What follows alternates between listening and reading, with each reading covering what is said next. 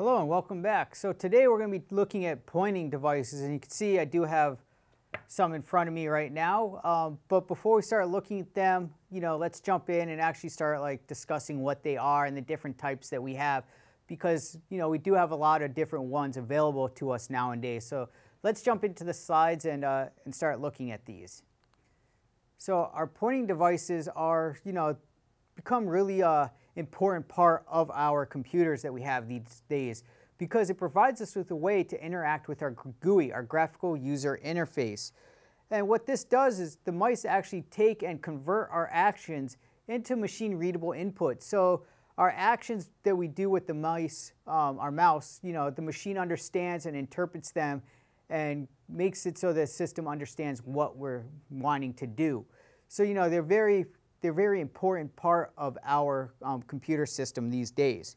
So let's jump in and look at some different type that we have. So we do have two different types of pointing devices as well. Um, so we have our mice, which, you know, we look at, we have our optical, and I would say this is your more standardized that you have nowadays that we use with our desktop computers. And then we also have our mechanical, and you can see here, this is like the internal part. So you can see you have that little ball and there's like a wheel and everything. So it was all mechanical um, that we used and I can remember using these as a kid and just getting really fed up because of you'd get dust and dirt would get caught in there and then it would stop working and you'd have to take the little trackball, the little ball out and clean it. So they were just really a pain. So optical mice make our lives a lot easier. And as well, another one we have, um, you know, wireless mice so that we don't have to have a cord and everything. And you do see these very commonplace now with desktop computers and um, even people using them with laptops. And then finally, the last one we have is our trackball, which you can see has kind of like the ball in the middle um, that you roll around and then you have buttons on the sides to navigate. So I'm going to um, show you a couple different ones. So I have a couple different um, mechanical mice here as well. So First one we'll look at is actually an older style one that was part of an Apple. So you can see here it just has one button on it. And then if I flip it over, you'll see that it has the trackball on it. And this would roll around and be interpreted by the computer for us. And then another one I have, it's a little newer as well. And it's the same idea, It's but this one has our two buttons that we can use. So it's a little newer. Uh, I'll move the cable out of the way. So you can see we have two buttons. And on the back as well, it's a trackball, or sorry, a roller ball that we can use. And I can quickly pop it out and you can see that it's just a ball. Just round and, you know, it just goes into the, the slot. And when we roll it around, the ball moves. It moves sensors and the sensors, you know, send the signal to the computer and tell the computer what to do. So another one we have is our optical. And this one's, you know, different as well because of, if we look at it, not only does it have our two buttons, but it also has this middle scroll wheel. So, you know, a little different, adding more features in as well. And if we look at the back, you know, it's optical. It has this little laser light that is used to interpret the signal. So if I pull up the mechanical mouse next to it, you can see the differences between the two.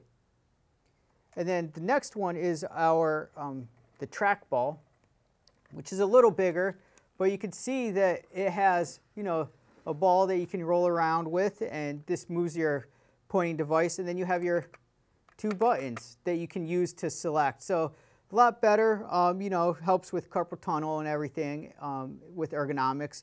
And then finally, the last one I have is another Apple mouse, but it's a little newer. You can see that there's no cable or anything, um, and it has, you know, you can scroll around with the, the third wheel that we looked at before here. Um, and it's just, it's a Bluetooth mouse. So if I look at the back, you can see it's, it's optical. To turn it on, you just slip the switch down. You can see the light comes on, so it's an, it activates it, and it's wireless. This one actually uses Bluetooth to communicate with your computer, so you don't need any other little USB like transceiver to use it. So you know you can see that there are a lot of different types of um, mice that we have and everything. So let's also jump in and look at some of the newer types um, of devices that we have as well.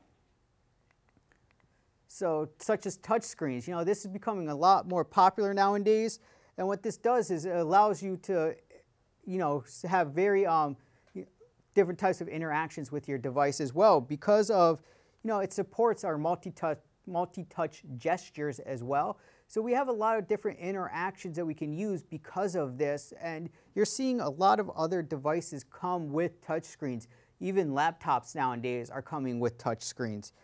Another one we have as well is our touchpad. And you see these most commonly on um, you know, laptops and devices like that where you can see the center part kind of you put your finger on that moves your cursor around and then below it you have your left and right clicks as well.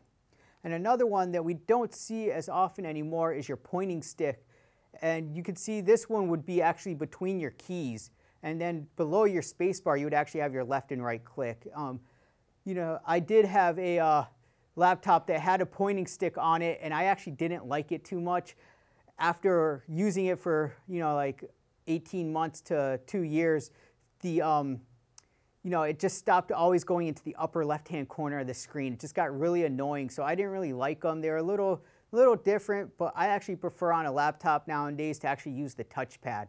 So, you know, everyone has their preferences. I actually see people actually prefer to have an external mouse with their laptops and everything. So everyone has their own preference. So you just have to find what's comfortable for you and keep using that. So jumping back into the slides now, there's um, other types of pointing devices that we have as well. And some of you are probably familiar with, you know, joysticks. If you play video games and everything, you might have, you know, different types of joysticks that you use to, you know, play video games and interact with, um, you know, your computer in that aspect. So, you know, that is another type of pointing device that we have as well. And then finally, you know, another one would be dance pads, which, you know, you're not really thinking that this is a, you know, pointing device, but you are interacting and you are sending signals to your computer when you, you know, when you're moving around and when you're dancing. So, you know, keep that in mind that a dance pad is another type of pointing device as well. So, you know, you can see that not all pointing devices come in the shape of what we normally think of as a mouse. So, you know, keep that in mind as well. So moving on now, we have motion sensing devices that, you know, you, your body actually becomes the pointer. So here we have the Xbox 360 Kinect as an example, and this senses your body, and you know, like you become the mouse, um, the cursor really, um, and controlling the way things interact. And another one we have as well is um, your stylus. And your stylus is, you usually see these interacting with like touch screens and iPads, um, devices like that. So you can use your your stylus to, um, you know, instead of your finger to interact with your, um, your device as well. So you can see that we have a lot of different types of pointing devices out there and you know, it, they all come in a lot of different um, shapes and forms. Uh, you know, I have one on my desk that I didn't bring with me today um, because it's in use, but it looks like a joystick, but it's a mouse. It's an ergonomic mouse um, that I like to use. And you know, it took a little bit to get used to, but I actually prefer it now. It's uh, you know, so you just got to find one that works for you and one that you like. And, you know, as well, you can switch between pointing devices as you like uh, because they all do have their, you know, specific features and, you know, different supported devices are, different mice are supported on different devices as well. So keep that in mind. So hopefully you kind of enjoyed seeing the different types of mice and the learning about like the different capabilities and everything about them. So thanks and we'll see you next time.